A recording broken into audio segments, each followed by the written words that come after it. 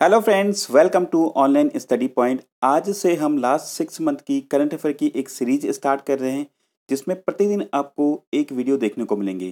Friends आप लोगों ने मेरा डेमो क्लासेस देखा है और मैंने आपके सभी के फीडबैक और कमेंट को पढ़ा है और उस पर कार्य करना स्टार्ट किया है। आपके कमेंट्स और फीडबैक के लिए बहुत बहुत धन्यवाद। चलिए स्टार्ट करते हैं आज का वीडियो पहला क्वेश्चन है, अंतर्राष्ट्रीय श्रम दिवस कब मनाया गया है? अंतर्राष्ट्रीय श्रम दिवस या श्रमिक दिवस कब मनाया गया तो इसका राइट आंसर हो जाएगा answer number A first May को जो है अंतर्राष्ट्रीय श्रम दिवस मनाया जाता है। देखिए, यही अगर बात करें कि एक मई को जो है महाराष्ट्र दिवस और गुजरात दिवस भी मनाया जाता है तो ध्यान रखेंगे, महाराष्ट्र दिवस और गुजरात दिवस जो है एक मई को ही मनाए जाते हैं। दो मई को जो है विश्व ट्यूना दिवस मनाया जाता है और तीन मई को जो है विश्व प्रेस स्वतंत्रता दिवस मनाया जाता है। चलिए, अगला क्वेश्चन देखते हैं। संयुक्त नौसैनिक अभ्यास वरुण नाइनटीन 19.1 किन देशों के बीच किया गया? तो वरुण 19.1 किन देशों के बीच स्टार्ट किया गया? तो इसका राइट आंसर हो जाएगा आंसर नंबर डी भारत और फ्रांस। तो भारत और फ्रांस के बीच में 19.1 का जो है ये नौसैनिक अभ्यास शुरू किया गया और ये जो है गोवा में इसका आयोजन किया गया। और इसका 19 पॉइंट जो टू एन के जिसका दूसरा भाग जो आयोजित किया जाएगा, वो जिबूती में आयोजित किया गया, किया जाएगा। और ये जिबूती जो कि ये दक्षिण अफ्रीका की, पूर्वी दक्षिण अफ्रीका की एक कंट्री है वहाँ पर आयोजन किया जाएगा। नाइनटीन पॉइंट टू यानी कि इस वरुण नाइनटीन पॉइंट टू इसका जो है दूसरा भाग है। अगर बात करें फ्रांस की तो फ्रांस की कैपिटल है पेरिस और यहाँ के राष्ट्रपति है इमानुअल मैक्रॉन और यहाँ की मुद्रा है सी एफ़ पी फ्रैंक और यूरो यहाँ की मुद्रा है। चलिए, अगला क्वेश्चन है। I T T F ranking में टॉप ट्वेंटी फाइव में पहुँचने वाले पहले भारतीय कौन बने हैं? तो पहले भारतीय कौन है? तो इसका राइट आंसर हो जाएगा answer number A, G Sathiyan. देखिए, जी साथियान चेन्नई के एक रहने वाले भारतीय टेनिस खिलाड़ी हैं और इनको जो है ट्वेंटी, टॉप ट्वेंटी फाइव में स्थान मिला है। देखिए, ये जो रैंकिंग जारी किया I T T F I T T F के फुल फॉर्म क्या होता है? International table tennis federation.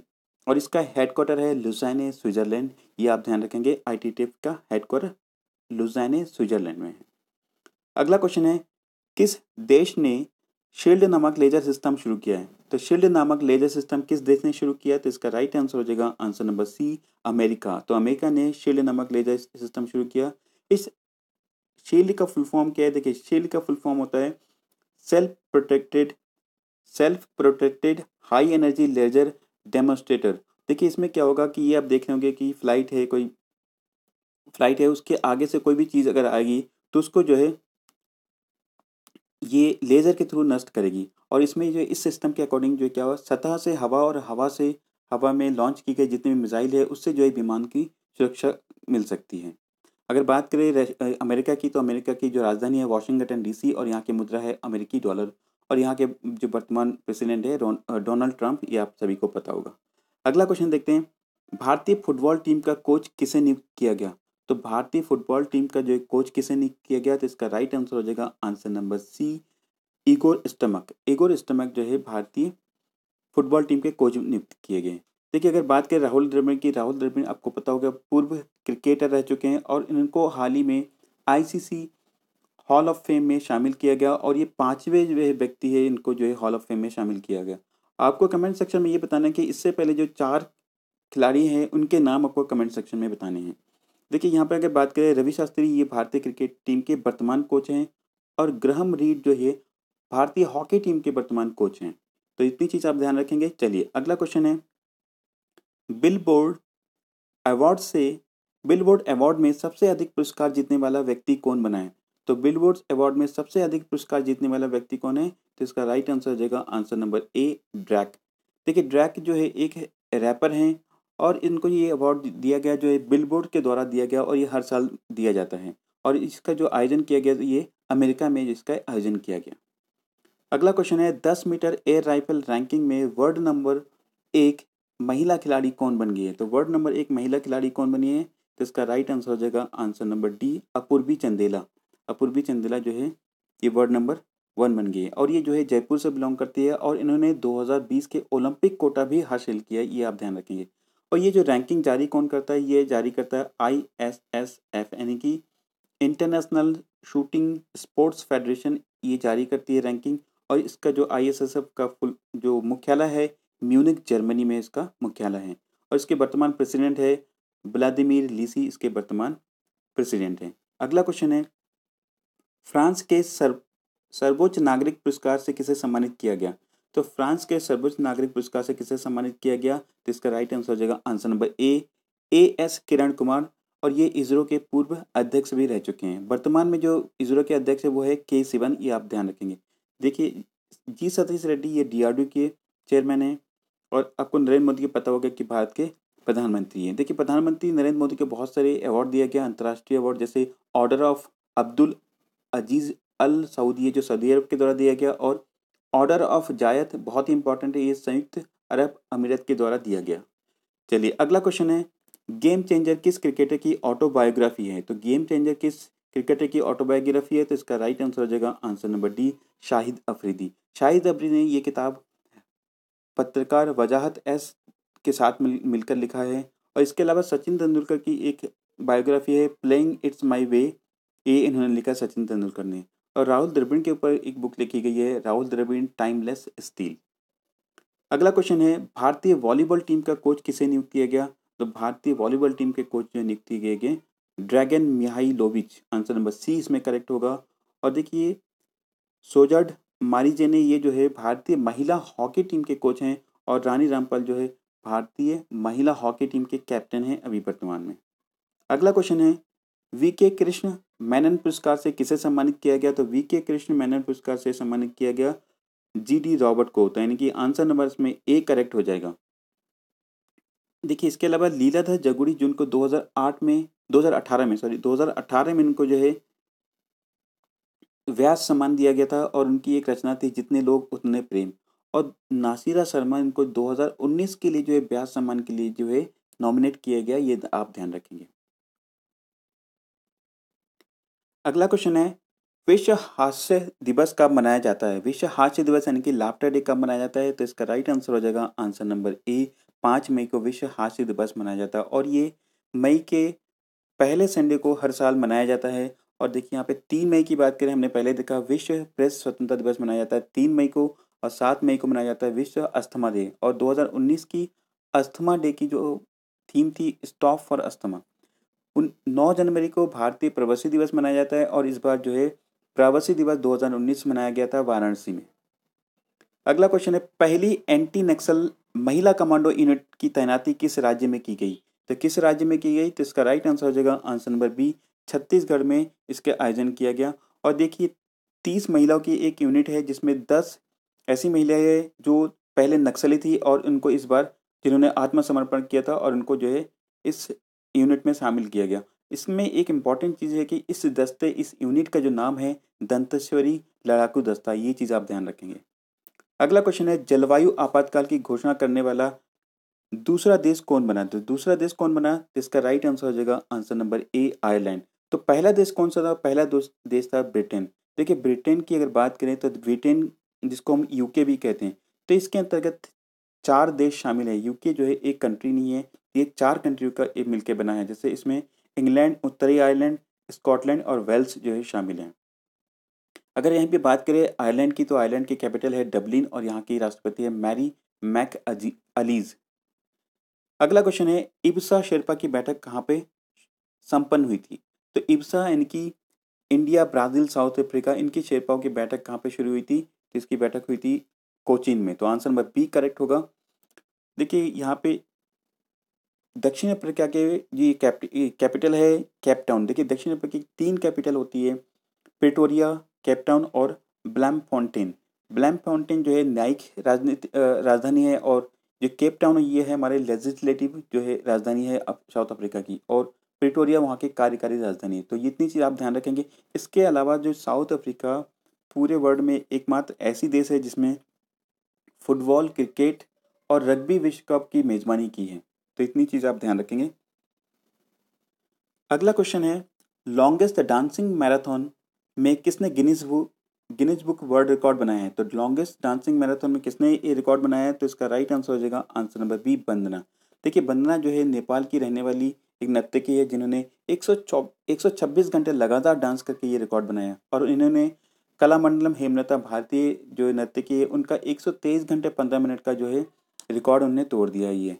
ठीक है, इसके अलावा जो मालिका सराभा ये ये जो है, एक मैसूर, कुचिपुड़ी और भारतनाट्यम की नर्तकी हैं। अगला क्वेश्चन है, विश्व रेड क्रॉस दिवस कब मनाया जाता है? तो विश्व रेड क्रॉस दिवस कब मनाया जाता है? तो इसका राइट आंसर हो जाएगा आंसर नंबर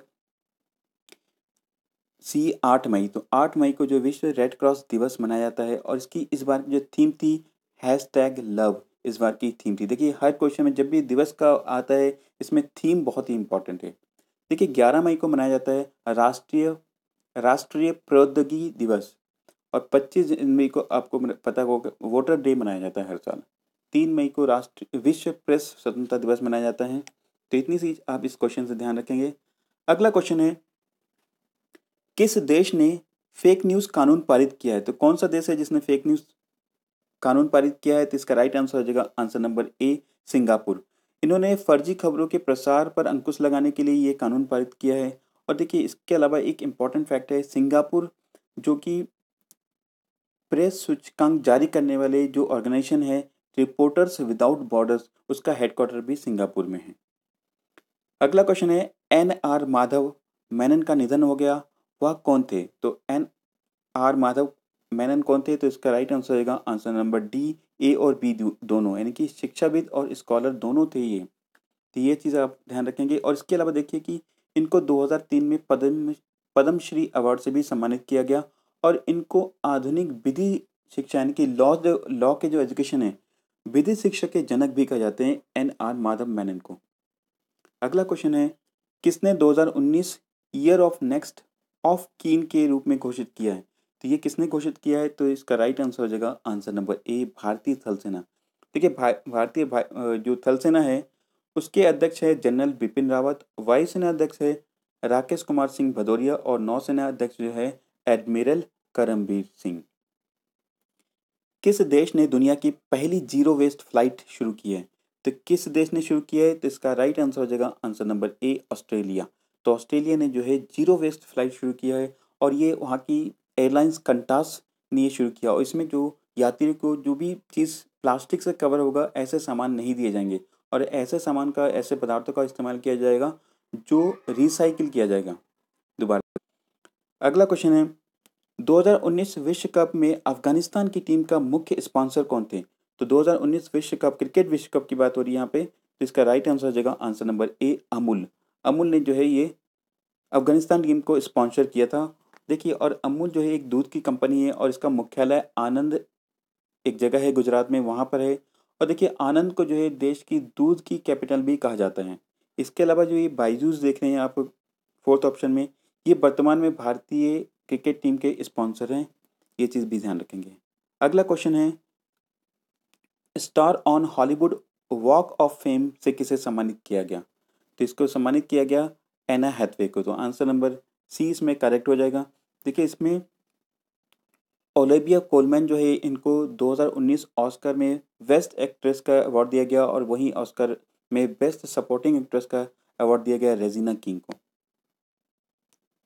अगला क्वेश्चन है, विश्व के दस सर्वश्रेष्ठ हवाई अड्डे की, हवाई अड्डों की सूची में भारत की कौन सी हवाई अड्डे शामिल की गई है? तो इसका राइट आंसर हो जाएगा answer number B, Rajiv Gandhi अंतर्राष्ट्रीय हवाई अड्डा। देखिए, इसमें इसको जारी किसने किया? ये जो सूची जारी किया, किसने जारी किया? एयर हेल्प ने जारी किया है। और इसकी मोस्ट इंपॉर्टेंट चीज़ इसमें कि तीन शीर्ष हवाई अड्डे कौन है पूरे विश्व में? वो है कतर का हमाद अंतर्राष्ट्रीय हवाई अड्डा, टोक्यो अंतर्राष्ट्रीय हवाई अड्डा और एथेंस अंतर्राष्ट्रीय हवाई अड्डा। ये मेन तीन शीर्ष हवाई अड्डे हैं तो इनको आप ध्यान रखेंगे। अगला क्वेश्चन है 2020 महासागर सम्मेलन का आयोजन कहाँ किया गया? तो 2020 महासागर का आयोजन कहाँ किया गया? तो इसका राइट आंसर हो जाएगा आंसर नंबर ए लिस्बन देखिए लिस्बन पुर्तगाल की कैपिटल है और यहाँ पे जो है इस सम्मेलन का आयोजन किया गया। और इसको ऑर्गेनाइज किसने किया? संयुक्त राष्ट्र महासभा के द्वारा, यानी कि जो है यूनाइटेड नेशन जनरल असेंबली के द्वारा इसका आयोजन किया गया। और इसका उद्देश्य क्या है कि महासागर महासागरों, समुद्रों और जो समुद्री संसाधन है, उसका जो सही से उपयोग कैसे किया जाए, उसके बढ़ावा के लिए ऑर्गेनाइज किया गया। अगला क्वेश्चन है, किस देश ने विश्व की सबसे तेज बुलेट ट्रेन का परीक्षण किया है? तो किसने परीक्षण किया? तो इसका राइट आंसर हो जाएगा आंसर नंबर डी जापान देखिए, ये जो ट्रेन है बुलेट ट्रेन ये लगभग 400 किलोमीटर प्रति घंटे चलने में सक्षम होगी। अगर बात करें जापान की, देखिए, जापान की कैपिटल है टोको, टोक्यो और यहाँ की मुद्रा है जापानी एन। पीएम है सिंजो आबे देखिए, इसके अलावा जापान में 2020 में समर ओलंपिक भी ऑर्गेनाइज किया जाएगा और इसका जो शुभांकर है 2020 समर ओलंपिक का उसका शुभांकर है, मेराई तोवा, ये आप ध्यान रखेंगे। अगला क्वेश्चन है 2029 में मैकेन इंस्टीट्यूट अवार्ड से किसे सम्मानित किया गया?